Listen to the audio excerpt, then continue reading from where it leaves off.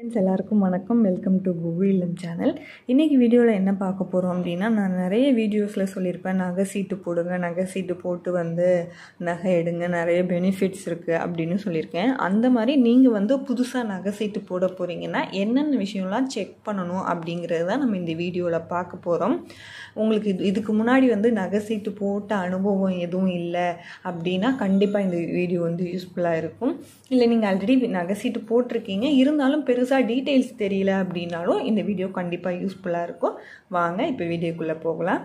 நகை சீட்டு போடுறதுக்கு முன்னாடி என்னென்ன விஷயம்லாம் கவனிக்கணும் அப்படிங்கிறது தான் இந்த வீடியோவில் நம்ம பார்க்க போகிறோம் ஃபஸ்ட்டு விஷயம் என்ன அப்படின்னா இப்போது நகை சீட்டு போடுறீங்க அப்படின்னா உங்கள் பக்கத்தில் உள்ள ஷாப்பை முதல்ல வந்து விசாரித்து பாருங்கள் அங்கே என்ன ஸ்கீம் போயிட்டுருக்கு என்ன டீட்டெயில்ஸ் அப்படின்னு. ஏன்னா இப்போது நிறைய இடங்களில் வந்து நகை சீட்டு கடைகளில் வந்து ஃபஸ்ட்டு மாதம் மட்டும் நம்ம டேரெக்டாக போயிட்டு பண்ணிக்கலாம். அடுத்தடுத்த மாதம்லாம் வந்து ஆன்லைன்லேயே பேமெண்ட் பண்ணிக்கலாம். அவங்க ஆப் வச்சுருப்பாங்க. அதுலேயே வந்து நம்ம பேமெண்ட் பண்ணிவிட்டு அது அதில் வந்து நம்மளுக்கு அந்த நம்மளோட அக்கௌண்ட்டில் வந்து ஆட் ஆகிட்டே இருக்கும். அது மாதிரி இருந்துச்சு அப்படின்னா தூரமாக இருந்தால் கூட நீங்கள் வந்து ஃபஸ்ட்டு டைம் மட்டும் போட்டுட்டு அடுத்தடுத்த மாதம் மாதம்லாம் வந்து நீங்கள் ஆப்லேயே பேமெண்ட் பண்ணிவிட்டு சீட்டு முடிஞ்சதுக்கு அப்புறமா நீங்கள் போயிட்டு டைரெக்டாக எடுத்துக்கலாம். இல்லை பக்கத்தில் உள்ள ஷாப்பே வந்து நல்லா பெனிஃபிட்டாக இருக்குது அப்படின்னா அதில் கூட போட்டுக்கலாம். ஸோ ஃபஸ்ட்டு வந்து உங்களுக்கு எது பக்கமாக இருக்குது எது பெனிஃபிட்டாக இருக்குதுன்னு ஃபஸ்ட்டு வந்து சூஸ் பண்ணுங்கள் ரெண்டாவது விஷயம் என்ன அப்படின்னா பெனிஃபிட் அண்டு ஸ்கீமு இப்போது ஒரு கடையில் நீங்கள் போட போகிறீங்க அப்படின்னா அங்கே போட்டால் நம்மளுக்கு என்ன பெனிஃபிட்டு அங்கே என்ன ஸ்கீம் போயிட்டுருக்கு அப்படிங்கிறத எல்லாத்தையும் கம்பல்சரி செக் பண்ணிவிட்டு தான் நீங்கள் நகை சீட்டு போடணும். அதே போல் மூணாவது விஷயம் கம்பேரிசன் கம்பேரிசன் பார்த்தீங்க அப்படின்னா இப்போ ஒரு கடையில் வந்து நீங்கள் போய் விசாரிக்கிறீங்கன்னா அந்த கடையிலே போட்டுறக்கூடாது. மினிமமாக ஒரு நாலு கடையிலனாலும் நீங்கள் விசாரித்து எது உங்களுக்கு பெஸ்ட்டாக இருக்குது அப்படின்னு கம்பேர் பண்ணி பார்த்துட்டு தான் போடணும். இப்போது ஒரு சில கடையில் ஃபுல்லாக வேஸ்டேஜ் இல்லாமல் இருக்கும். ஒரு சில கடையில் ஒரு பத்துலேருந்து பதினஞ்சு பர்சன்டேஜ் வரைக்கும் வேஸ்டேஜ் வந்து கிடையாதுன்னு சொல்லியிருப்பாங்க. நாங்கள் சீட்டு போட்டால் அதுக்கப்புறம் நிறைய பேர் வந்து ஜிஎஸ்டியும் இல்லாமல் கூட வந்து நீங்கள் நகை சீட்டு போட்டிங்க அப்படின்னா ஜிஎஸ்டியும் வித்தவுட் ஜிஎஸ்டியும் கூட வந்து நீங்கள் நகை எடுத்துக்கலாம் அப்படின்ட்டு இருக்கும். அந்த மாதிரி நிறைய நகை சீட்டில் வந்து நிறைய டீட்டெயில்ஸ் இருக்குது ஸோ அதனால் மினிமமாக ஒரு நாலு கடையில் விசாரித்து எது பெஸ்ட்டு அப்படின்னு கம்பேர் பண்ணி பார்த்துட்டு அப்புறமா நகை சீட்டு போடுங்க. நாலாவது விஷயம் நகையோட தரம். ரொம்ப ரொம்ப ரொம்ப ரொம்ப இம்பார்ட்டன்ட் இது. என்ன காரணம் அப்படின்னா இப்போ நகை சீட்டு போட்டுட்டோம். அது போட்டு முடிஞ்சதுக்கு அப்புறமா நம்ம நகை எடுக்கிறோம் அப்படின்னா அது கண்டிப்பாக நைன் ஒன் சிக்ஸாக தான் இருக்கணும். நைன் ஒன் சிக்ஸாக இல்லாமல் நம்மளோட நகையோட தரம் கம்மியாக இருந்துச்சுன்னா நம்ம நகை சீட்டு போட்டு நகை வாங்கினதுக்கான ஒரு பெனிஃபிட்டே இல்லாமல் போயிடும். என்ன காரணம் அப்படின்னா நான் ஒரு நாலஞ்சு வருஷத்துக்கு முன்னாடி ஒரு நகை எடுத்திருந்தேன். அதை வந்து அடகு வைக்க போகும்போது தான் எனக்கு அது தெரிஞ்சுது அது நைன் ஒன் சிக்ஸ் இல்லை அப்படின்னு சொல்லிட்டு. ஸோ அந்த மாதிரி என்ன மாதிரி இல்லாமல் நீங்கள் வந்து நைன் ஒன் சிக்ஸாக வந்து எடுக் அந்த கடையில் வந்து நம்ம நகை சீட்டு போட்டோம் அப்படின்னா நைன் ஒன் சிக்ஸ் தான் கொடுக்குறாங்க அப்படின்னா அதை செக் பண்ணிவிட்டு அந்த கேரட் மீட்டர்லாம் நம் நம்மளை நம்மள்கிட்ட டேரெக்டாக வந்து செக் பண்ணி காமிக்கிறாங்களா அப்படிங்கிற எல்லா டீட்டெயில்ஸையும் பார்த்துட்டு நகை சீட்டு போடுங்க.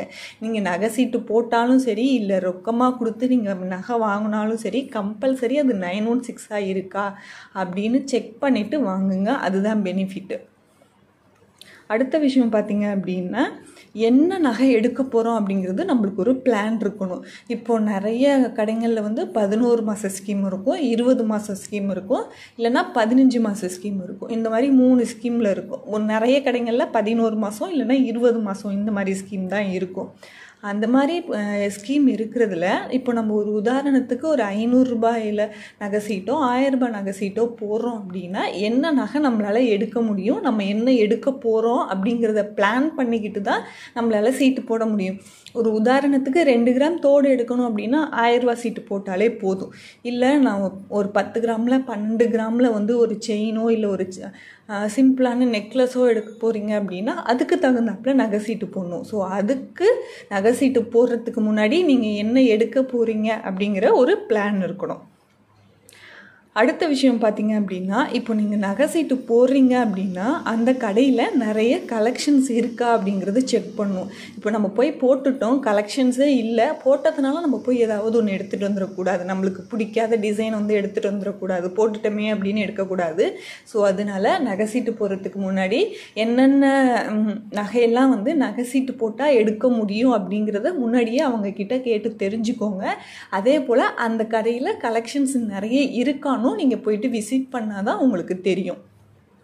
ஸோ இதையுமே வந்து பார்த்துட்டு அதுக்கப்புறமா வந்து போ நகை சீட்டு போடுங்க. அடுத்த விஷயம் பார்த்தீங்க அப்படின்னா நகையோட நகை சீட்டோட முதிர்வு காலம். இது நான் ஆல்ரெடி சொன்ன மாதிரி தான் பத் பத்து மாதமா பதினோரு மாதமா இருபது மாதமா அப்படிங்கிறத செக் பண்ணுங்கள் அதுக்கு தகுந்தாப்புல உங்களோட பிளானை வந்து நீங்கள் போடுங்க. அதே போல் நகை சீட்டு வந்து இப்போ ஒன்றுலேருந்து முப்பதாம் தேதி வரைக்கும் கட்டலாமா? இல்லை ஒன்றுலேருந்து பத்தாம் தேதி இல்லை ஒன்றுலேருந்து பதினஞ்சாம் தேதி அப்படிக்குள்ளே கட்டணுமா? அப்படிங்கிறதையும் டீட்டெயில்ஸ் கேட்டுக்கோங்க. ஏன்னா ஒரு மாதம் ஃபுல்லாக கட்டலாம் அப்படின்னா நம்ம எப்போ வேணாலும் பணம் இருக்கிறப்ப கட்டிக்கலாம். இல்லை இந்த டைமுக்குள்ளே கட்டினாதான் இல்லைன்னா ஸ்கீம் வந்து உங்களுக்கு அப்ளிகபிள் கிடையாது அப்படின்னு நிறைய கடைகளில் இருக்கும். அதனால் அதையுமே செக் பண்ணிக்கோங்க. அந்த ஃபுல் மந்தில் எப்போ வேணாலும் நான் கட்டலாமா அப்படிங்கிற டீட்டெயில்ஸையும் கேட்டுக்கோங்க. அடுத்த விஷயம் பார்த்தீங்க அப்படின்னா மினிமமாக எவ்வளவுலேருந்து கட்ட முடியும்? மேக்ஸிமமாக எவ்வளவு கட்டலாம்? நீங்கள் நகை சீட்டு விசாரிச்சு டீட்டெயில்ஸ் விசாரிச்சிங்கனாலே அவங்க சொல்லுவாங்க மினிமம் இவ்வளோ கட்டலாம் மேக்ஸிமம் இவ்வளோ வரைக்கும் கட்டலாம் அப்படின்னு சொல்லிட்டு அவங்க சொல்லுவாங்க. ஸோ அதனால் நீங்கள் என்ன எடுக்க போகிறீங்க எவ்வளோ கட்டலாம்? அப்படிங்கிற எல்லா டீட்டெயில்ஸுமே செக் பண்ணிக்கோங்க. அதனால் மினிமமாக எவ்வளவுலேருந்து கட்டலாம் அப்படிங்கிறதையும் தெரிஞ்சு வச்சுக்கோங்க. பத்தாவதாக என்ன சொல்லியிருக்கேன் அப்படின்னா இப்போ ஒரு ஒரு உதாரணத்துக்கு உங்களுக்கு பக்கத்தில் உள்ள ஒரு பிரான்ச்சில் வந்து நீங்கள் நகை சீட்டு போடுறீங்க அங்கே கலெக்ஷன்ஸ் இல்லை அப்படின்னா வேறு ஏதாவது பிரான்ச்சில் போயிட்டு நீங்கள் எடுத்துக்க முடியுமா அப்படிங்கிறதையும் ஸ்டார்டிங்லேயே கேட்டுக்கணும். இப்போது இங்கே கலெக்ஷன்ஸ் இல்லை ஆனால் இதே பிராண்ட் இதே கடையோட பிரான்ச் வந்து வேற ஒரு இடத்துல இருக்குது அங்கே நிறைய கலெக்ஷன்ஸ் இருக்குது அப்படின்னா அந்த கடையில் போயிட்டு நம்ம எடுத்துக்கலாம் இல்லையா? அதனால் இங்கே நகை சீட்டு போட்டால் அங்கே எடுத்துக்கலாமா அப்படிங்கிற டீட்டெயில்ஸையும் கேட்டுக்கோங்க. ஏன்னா இதுவுமே நம்மளுக்கு ஒரு பெரிய பெனிஃபிட் என்ன காரணம் அப்படின்னா இங்கே கலெக்ஷன்ஸ் இல்லைன்னா அங்கே போயிட்டு எடுத்துக்கலாம். நான் வந்து ஸ்ரீகுமரலில் போட்டிருந்தேன். ஆக்சுவலி போட்டது ஒரு இடத்துல நகை எடுத்தது ஒரு இடத்துல. அவங்க வந்து அலோவ் பண்ணிக்கிட்டாங்க. எங்கே வேணாலும் எடுக்கலாம் அப்படின்னு சொல்லிட்டு அலோவ் பண்ணிக்கிட்டாங்க. அதே மாதிரி நீங்கள் போடுறீங்க அப்படின்னா அலோவ் பண்ணுவாங்களா இல்லையா அப்படிங்கிற எல்லா டீட்டெயில்ஸையும் கேட்டுட்டு போடுங்க. கண்டிப்பாக நீங்கள் நகை சீட்டு போடுறீங்க அப்படின்னா இந்த பத்து விஷயங்களையும் கண்டிப்பாக வந்து செக் பண்ணிவிட்டு பிளான் பண்ணிவிட்டு அதுக்கப்புறமா போடுங்க. அதுதான் உங்களுக்கு வந்து பெனிஃபிட்டு இது வரைக்கும் இந்த வீடியோ பார்த்ததுக்கு ரொம்ப நன்றி ஃப்ரெண்ட்ஸ் வீடியோ பிடிச்சிருந்துச்சுன்னா லைக் பண்ணி ஷேர் பண்ணி கமெண்ட் பண்ணுங்கள் அதோட வியூவர்ஸ் வந்து சப்ஸ்கிரைப் பண்ணாமல் நம்ம சேனல் பார்த்துட்ருக்கீங்க சப்ஸ்கிரைப் பண்ணி சப்போர்ட் பண்ணுங்கள் தேங்க்யூ ஃப்ரெண்ட்ஸ்